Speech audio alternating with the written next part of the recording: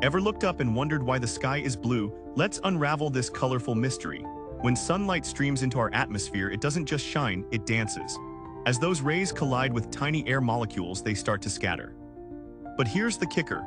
Blue light, with its short and energetic waves, begins bouncing around like it's at a party, scattering in all directions more than any other color. This glorious chaos fills our eyes, giving us that beautiful blue backdrop we see every day. Now here's another twist. At sunrise and sunset, the light has to traverse a longer path through the atmosphere. This means it encounters even more molecules and particles along the way. So, the shorter blue waves get scattered away, allowing the warm reds and oranges to take center stage in the sky.